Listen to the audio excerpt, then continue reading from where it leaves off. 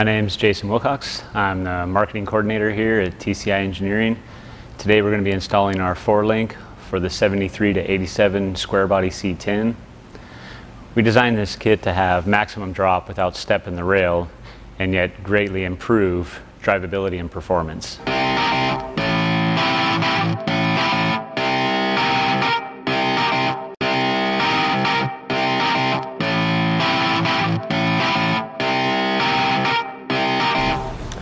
All right, first thing, we need to do this safely. So let's get the truck up on jack stands. Best place to support it would be just behind the cab, but in front of the rear axle. Uh, once we do the C-notches, it'll help keep some of the, the weight off of the back end of the chassis. Uh, we do need to take the bed off or at least lift it high enough to be able to drill some holes vertically. It's much easier to just get it off there. So undo all the wiring. Um, You'll also need to take the drive shaft and all the rear suspension, the stock rear suspension completely out. And there's one brake hose that connects off of the frame onto the axle. That'll also need to be undone. Alright, so once the bed is off, we now need to remove the leaf spring hanger brackets and the front leaf mounts. Uh, there's four rivet heads per bracket. Those tanks in it. Um, uh, just take your time on the front ones. We are going to reuse those holes for our four-link bracket. Um, so those brackets there, those ones, those holes, we will be reusing.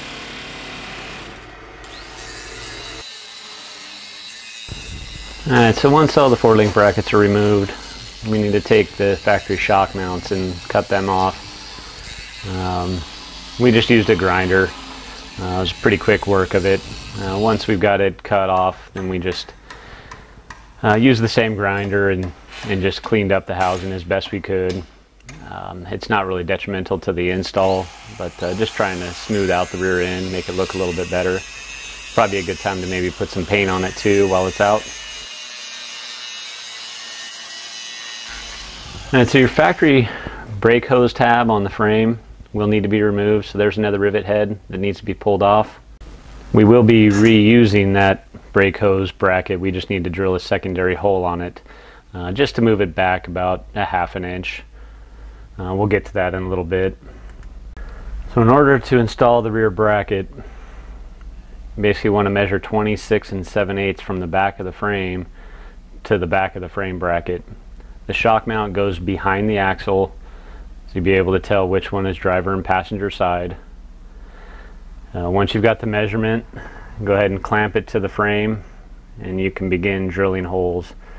Um, we like to center punch them first before drilling. Um, makes lining up the holes a little bit easier.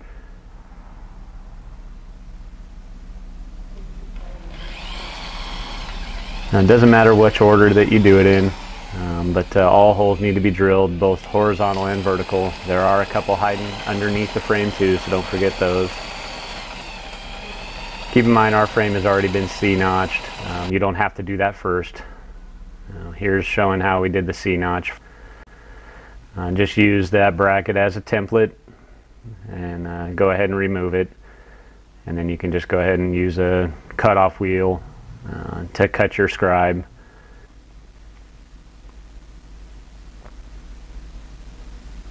Now this is the part where the jack stands come in handy.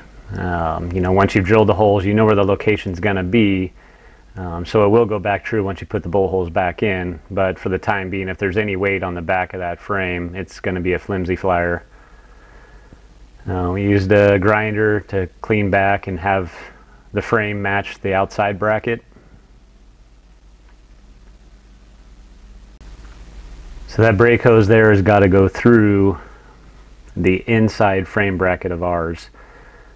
So here we're showing how it goes through that bracket. So this is the part where that brake hose has to be disconnected in order to get it through there and straightened out a little bit. Now we always mention to do all mock-up first before powder coating. Um, we weren't able to finish the video with it in bare steel, um, so here we are after full mock-up. Now we had it powder coated, now we're actually doing the assembly on it. So both the brackets, outside and inside, can be bolted together. You want to take caution on some of these because if you do the vertical bolts first, you won't be able to, to install the horizontal ones because they kind of intersect with each other. Uh, so you want to do the horizontal ones first. Um, we're putting anti-seize on everything. Good idea to do that. Uh, here we are putting the washers in. A little bit easier to just use some needle nose pliers to get the washers in first before the nut. But we leave access holes on the inside there to be able to get your ratchet and socket.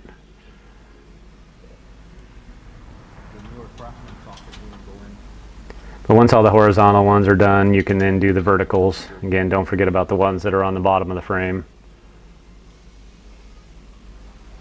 To see how he's having to lift that up there. That's one of the ones that intersects with the horizontal.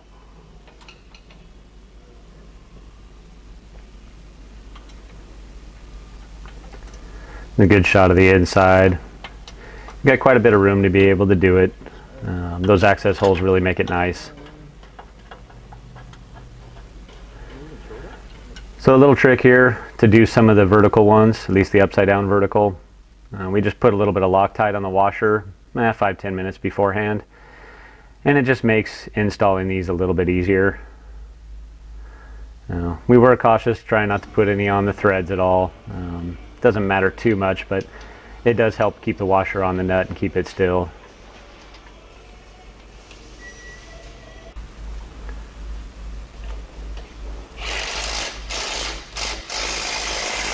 We'll go ahead and do both passenger and driver side. Make sure all the, the bolts are tight.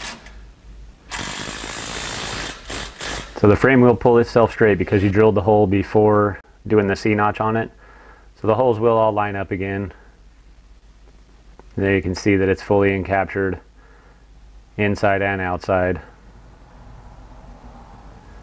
So moving to the front brackets. So we've got a left and a right. So the slotted hole is going to go towards the back of the vehicle. And this one here is driver. So this one here is passenger side.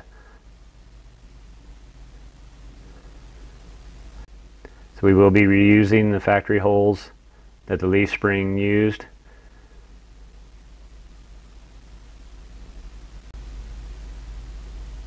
And go ahead and install all these bolts and nuts and tighten them down, driver and passenger side.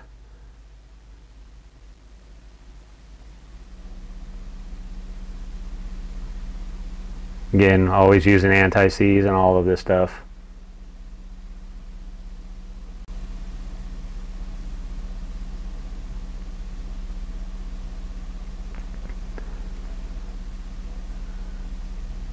Alright, so we took the opportunity to put a little black paint on our rear end just to clean it up a little bit.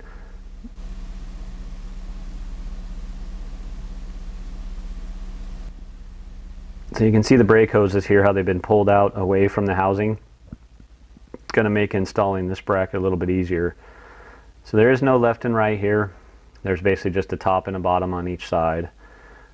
Um, Basically these two brackets clamp together using the leaf pad as a locating device.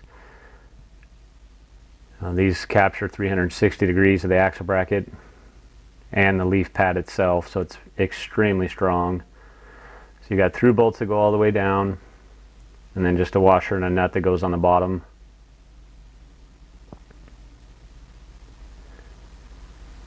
Might take a minute to get those all aligned because uh, that bolt is pretty long and we're very precise on those holes.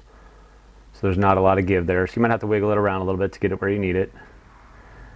But there's a locating pin on that leaf pad and on that top bracket. So it helps center it both left to right and front to back. Now this is your complete axle bracket here. Alright, once you're done, you should have a small gap there. Then you can kind of bend the brake hose back close again. Clean that up a little. Alright, so adjusting the link bars. These guys need to be 24 and 3 quarter from center to center. So you also want to take two of the four bars and adjust them two full turns out. These will now be the upper link bars. Uh, this is to set pinion angle. Once you've done that, you can go ahead and tighten the jam nuts. I'll go ahead and install those on the front bracket with the adjuster uh, onto the bracket. You can go ahead and put the rear in, slide it up underneath the frame, and basically just use a jack to bring it up to place. It'll take a little bit of finagling here. Um, we'll use a punch just to help align and then uh, get the bolts through there. We typically like to do the top first, so do the driver and passenger top, and then uh, you can just kind of jack it up and get the bottom one in a position.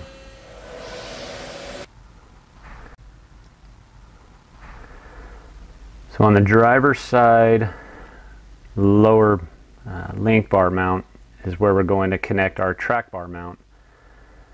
Well, here we are installing it. So this guy will basically allow us to attach a half inch bolt to the track bar uh, from the driver's side. It will go crosswise to the rear axle bracket on the lower as well. And we're just running through all the nuts and bolts here, getting everything installed. We'll show the track bar here in just a second.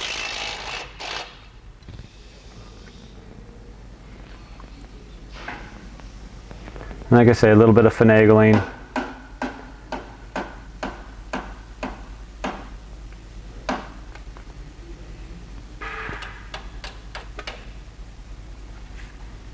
But be patient, they will go in. Alright, so this is where the track bar mount on the passenger side will go.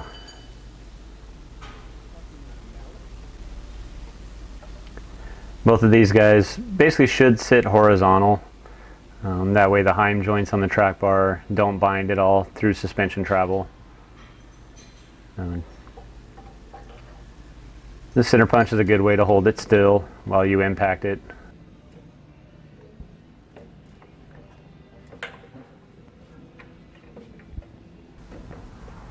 This will help locate the rear end left to right once the vehicle is all assembled uh, helping center it. That'll be one of the last things that we do. Alright, so I put one of the bolts going down through the top. Um, he put it going up through the bottom. I prefer them to go down. Um, you know, just in case that nut ever comes loose, it, it'll at least sit still. So on the Ridetech shocks, we'll want to go to the bottom hole for the lowest setting with the adjuster knob at the top. That'll be half inch hardware on the top and 5 eighths on the bottom. So technically you cannot reverse those. So you've got a little spacer that goes between the shock and the axle bracket and then the 5 eighths hardware.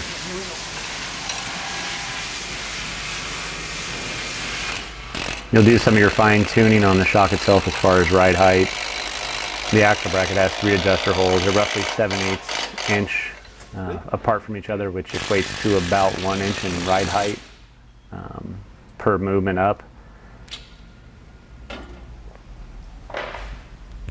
Now, um, that brake hose bracket, so there's a little bit of a, a movement that it's got to do. It's got to go back a little bit. So just drill a new hole to move that brake hose tab just a little bit farther back. That'll help it clear the, the new frame brackets. Then just reconnect that line and the hose and you can bleed, bleed the brakes. Pretty much that easy. Four link is installed. Now we can just go ahead and put the bed back on, put the drive shaft back in. But here's how we're centering the rear end here. So you just take a measurement from the tire to the outer fender, left and right, once it's down on its weight of course and just make sure that it's even left to right. Or once the track bar is set, then you can just tighten up the jam nuts.